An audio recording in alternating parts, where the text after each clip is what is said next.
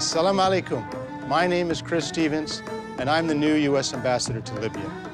I had the honor to serve as the U.S. envoy to the Libyan opposition during the revolution, and I was thrilled to watch the Libyan people stand up and demand their rights.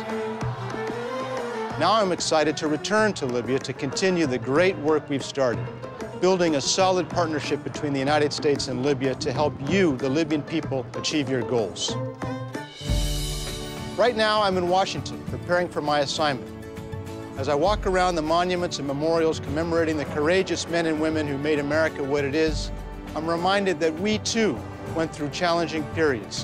When America was divided by a bitter civil war 150 years ago, President Abraham Lincoln had the vision and the courage to pull the nation together and help us move forward toward a shared goal of peace and prosperity.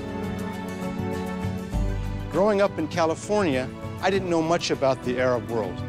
Then, after graduating from the University of California at Berkeley, I traveled to North Africa as a Peace Corps volunteer. I worked as an English teacher in a town in the high Atlas Mountains in Morocco for two years and quickly grew to love this part of the world.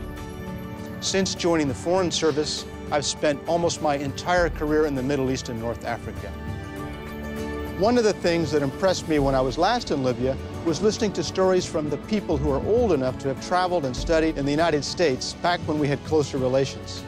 Those days are back. We had 1,700 Libyans apply for Fulbright grants to study in the United States this year, more than any country in the world.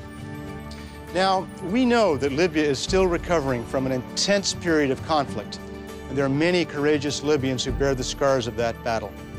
We're happy that we've been able to treat some of your war wounded at U.S. hospitals. We look forward to building partnerships between American and Libyan hospitals to help return Libya's healthcare system to the extraordinary standards of excellence it once enjoyed.